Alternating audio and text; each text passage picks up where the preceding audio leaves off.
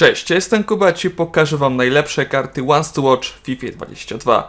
Jak zwykle mam dla was wyzwanie 50 łapek górę w ciągu godziny oddania tego filmu równa się z kolejnym odcinkiem jutro, a 100 łapek górę pojawi się kolejny odcinek z tej serii, a każdy 30 łapek pod tym filmem dodatkowy zawodnik w kolejnym odcinku. I standardowo zapraszam was na mój serwer Discord, do którego link macie podany w opisie oraz w komentarzu, a także pokazuję wam 5 ostatnich subskrybentów na moim kanale, więc jeżeli ty chcesz pojawić w kolejnym odcinku, to zostaw suba, teraz już nie przedłużam i zapraszam was do oglądania. A pierwszą kartą Once Watch w tym odcinku jest Wijnaldum, który według mnie naprawdę będzie bardzo fajną inwestycją pod FIFA 22, gdyż wiemy, że Holender między innymi na Euro pokazał, że jest w bardzo wysokiej formie, a także wiemy, że w Liverpoolu ten piłkarz żył sobie bardzo dobrze, a wiemy, że jeżeli chodzi o ligę francuską, a Premier League, naprawdę no liga francuska według mnie jest poziom na pewno niżej i według mnie Wijnaldum może sobie naprawdę bardzo dobrze poradzić i według mnie to jest taka pewność tych kilku z kart specjalnych do upgrade'a tej jego karty Once to Watch.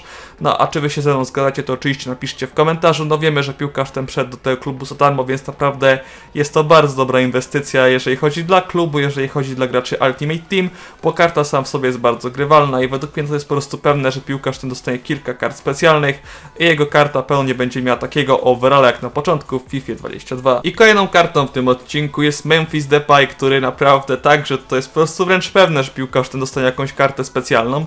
Chociaż wiemy, że w Manchester United piłkarz ten nie radził sobie tak bardzo dobrze. W takich właśnie większych klubach Holender ponoć sobie nie powinien radzić, aczkolwiek wiemy, że Olympique Lyon także jest już według mnie dobrym klubem, który naprawdę gra na bardzo wysokim poziomie i piłkarz ten radził sobie wręcz tam świetnie, także na Euro piłkarz ten grał bardzo dobrze, więc także uważam, że tą swoją formę przeniesie do Barcelony. Wiemy, że jest także holenderski trener, jest także De Jong, jest wiele takich właśnie piłkarzy, którzy na pewno będą dobrze otaczali Depaya i uważam, że taki no pewno jeden, dwa informy to jest coś po prostu pewnego, jeżeli chodzi o tego zawodnika. No i według mnie naprawdę będzie to także fajna inwestycja pod FIFA 22. No i teraz przechodzimy do kolejnego transferu Paris Saint-Germain. Jest to Donnarumma, czyli zawodnik, który jest wybrany MVP Euro 2020. No wiemy, że od dawna się mówiło, że piłkarz ten koniec końcu z AC Milanu odejdzie i w końcu to się stało. No dla PSG jest to na pewno duże wzmocnienie, jak większość transferów, jakie zrobiła. Bo naprawdę jeżeli chodzi o to okienko, to PSG to są totalni szefowie, jeżeli chodzi o te transfery. Tym bardziej, że większość tych transferów jest jest właśnie za darmo. No i według mnie właśnie Donnarumma może sobie naprawdę bardzo dobrze poradzić. No wiemy, że jest jeszcze Keylor Navas i nie wiadomo jak oni sobie z tym poradzą.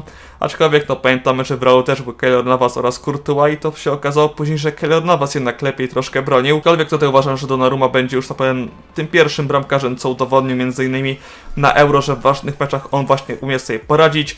No i według mnie to także będzie piłkarz, który może dostać te dwa informy, jeżeli chodzi oczywiście o Ultimate Team oraz także inne jakieś, nie wiem, karty Man of the Match i tak dalej. Jeżeli ktoś Was będzie chciał, nie wiem, kupić sobie jakąś fajną kartę Once to Watch, która będzie miała okazję zwiększyć swój overall, to właśnie Donnarumma będzie według mnie bardzo dobrym piłkarzem. I teraz przechodzimy do Aguero, czyli także świetnego transferu FC Barcelony. To jest piłkarz, który według mnie także dostaje przynajmniej tego jednego informa w FIFA. Wiemy, że w zeszłym sezonie Aguero nie grał zbyt dużo przez kontuzję, teraz oczywiście wszystko wraca do normy i Argentyńczyk będzie grał znowu na najwyższym poziomie.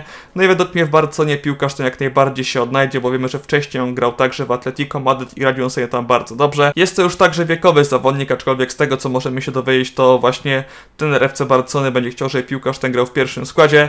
No i wiemy, że jest to świetny snipe, który potrafi strzelić gola nie patrząc w każdej sytuacji. Także uważam, że właśnie Aguero będzie świetnym zawodnikiem, który na pewno dostaje, no przynajmniej jak to powiedziałem, tego jednego informa, no chyba, że znowu dostaje jakąś kontuzję. Ale jeżeli żadnej kontuzji nie dostaje, to na pewno jego karta One Watch dostanie kilka na pewno upgrade'ów w FIFA 22. Teraz przechodzimy do najgłośniejszego chyba transferu tego lata, czyli przejście Ramosa do Paris Saint-Germain.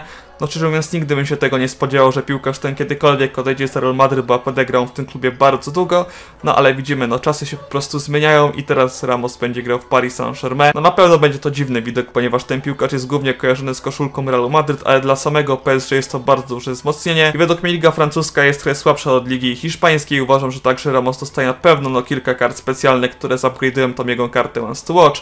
Więc jeżeli ktoś Was będzie chciał kupić tego zawodnika, między innymi z samego sentymenta, mogę Wam chyba zapewnić, że tylko jakaś kontuzja może go powstrzymać od dostania przynajmniej tego jednego informa albo innej jakiejś karty specjalnej, która może tą kartę zupgrade'ować. Więc ja Wam dziękuję za oglądanie. Mam nadzieję, że odcinek Wam się spodobał, że tak nie zapomnijcie dać łapki w górę pod tym filmem. Jak to mówiłem, 100 łapek w górę się kolejny odcinek z tej serii, a każdy 30 łapek pod tym filmem dodatkowy zawodnik w kolejnym odcinku i słyszymy się w kolejnym odcinku na moim kanale. Do usłyszenia, cześć!